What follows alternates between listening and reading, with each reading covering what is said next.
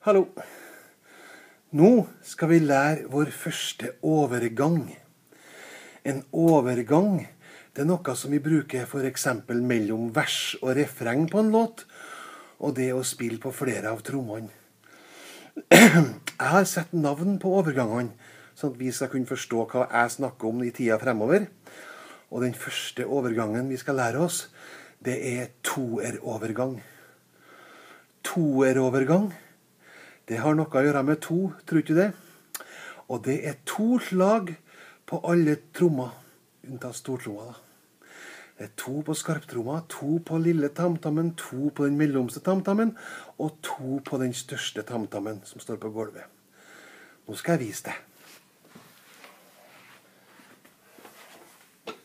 Toerovergangen, den er sånn som det her.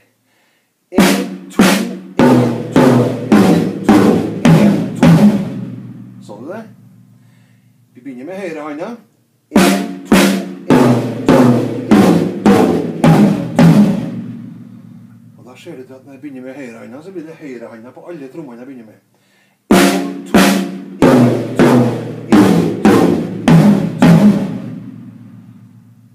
Hvis vi nå da spiller den takten som vi lærte oss i time én, så kan vi ta toerovergangen sammen med den takten der.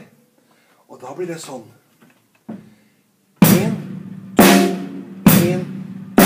Og så teller jeg til fire. Og så skal vi ta to av gangen. Én, to, tre, fire. Én, to, én, to, Én, to. én, to. Og når jeg teller til fire, da skal vi ta toer Én,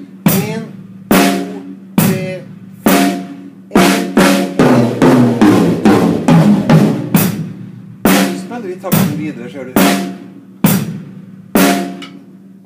var ikke så vanskelig, det der. Det var toerovergang.